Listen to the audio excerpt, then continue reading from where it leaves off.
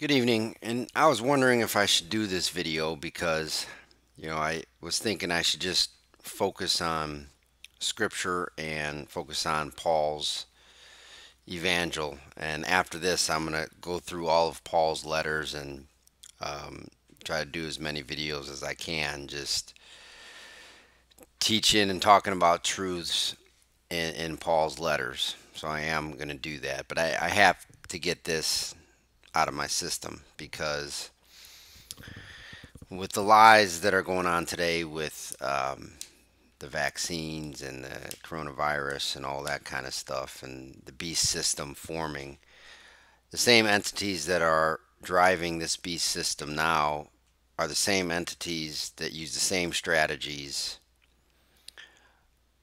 with regard to the lies that I'm going to talk about in this video and that I mentioned in my previous video about Satan's two great lies, which one is lying about where we are and then lying about who Jesus Christ and who God is.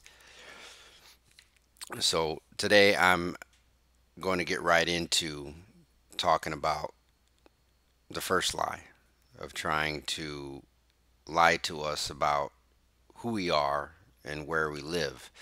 And when I was thinking about whether I should do this or not, it's like I should focus on Paul's message. But the thing is, it's it's nice, and I had to say this to myself. And I think sometimes when we're in the body of Christ, we have to say this too. We're used to fighting religious people. We're used to fighting Christians and trying to expose the lies of Christianity with the truth of Paul's gospel.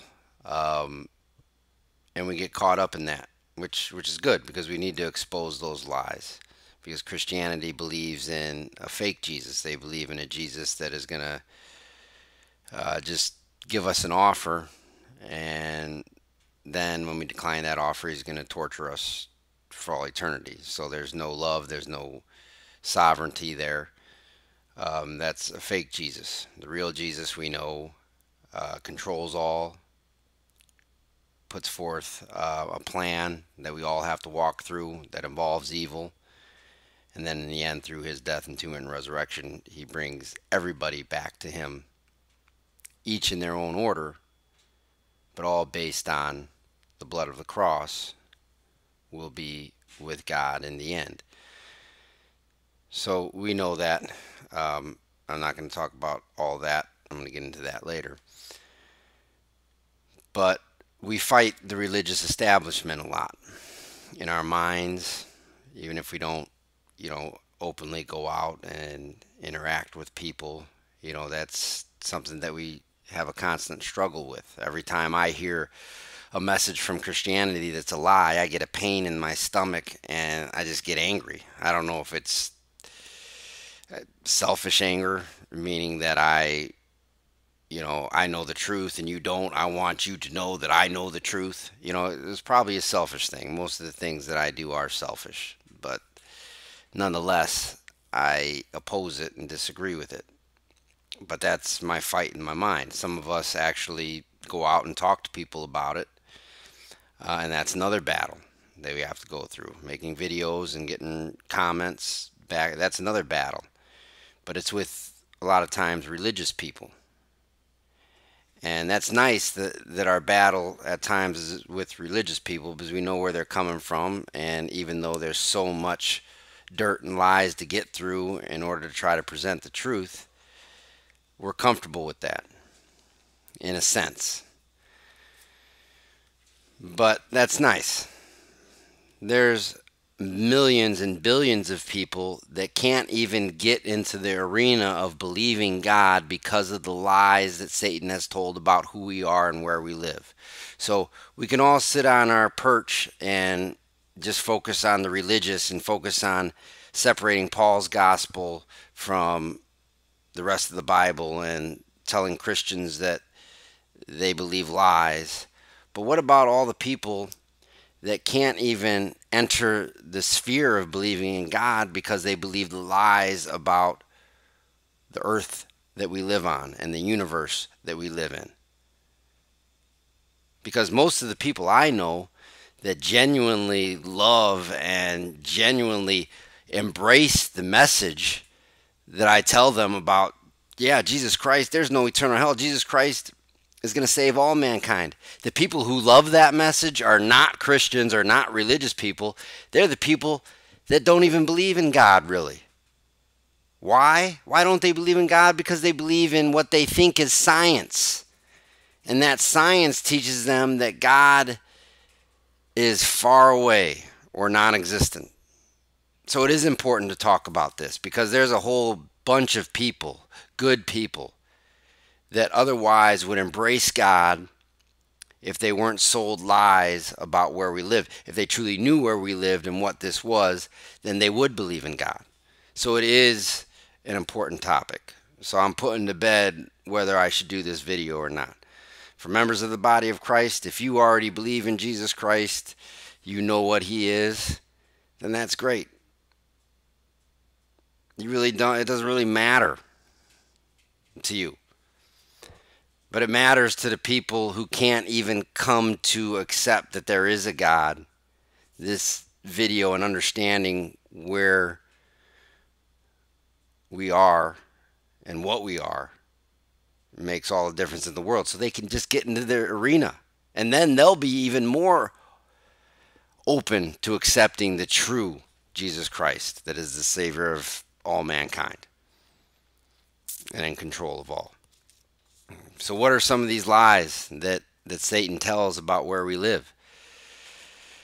Well, we go to scripture here. In the beginning, Elohim created the heavens and the earth. As for the earth, okay, so God created the heavens and the earth. Didn't create hell. Just side note there because hell doesn't exist. Nowhere mentioned in scripture. But then God is simply silent on the heavens and he moves his attention to the earth only. So, as for the earth, and then everything else has to do with the earth. And God keeps focused on the earth until the letters of Paul, where our celestial realm is talked about. But the book of Genesis and elsewhere in Scripture goes into some detail about this creation. I'm going to talk about this Scripture in relation to real science. Before that, however, it is necessary to discuss why this earth creation would be lied about. Why has Satan lied about earth and where we are and who we are? Why? Because the adversary Satan wants us to feel insignificant. He wants humans to think that God is far away or that he does not exist. Evolution, the Big Bang Theory, and spinning ball earth theory all have been used to distance or even exclude God from his creation. Evolution puts time, billions and billions of years as the ultimate God. Give it enough time. Primordial slime will become a cell. Then a self replicating cell will magically become male and female and eventually transform into all sorts of complex beings. This is impossible. It's not science. Evolution is a lie, and there is simply no credible proof for this process. Slime does not randomly nor by any natural selection develop the complex features of humanity and our mechanics. How does laughter evolve? How does the beauty of a girl's eyes drive me insane? How does a self replicating cell become male and female? These are all questions that evolution cannot answer. Where are all the transient the transition species. There should be billions and billions of species that are half alligator, half fish, half aardvark, half bird. There's none of them. None of them anywhere. No proof for it. Darwin, yeah, and I, if you do a real study on evolution and want to know the truth, you you will come to the same conclusion. The Big Bang Theory is the idea that at some point and I'm reading from a paper, so if you think I'm reading, I am. Uh, but this is a paper that I wrote a couple years ago. The Big Bang Theory is the idea that at some point everything came from nothing and evolved from a singularity some 13.8 billion years ago. Hydrogen formed and eventually became stars that included the raw material that would eventually create humans. What? How do these people know what happened 13.8 billion years ago? It's pretty obvious that if you don't have the answer to creation or you don't want to believe in God, just add billions of years to your theory and you can make up any ludicrous idea you want.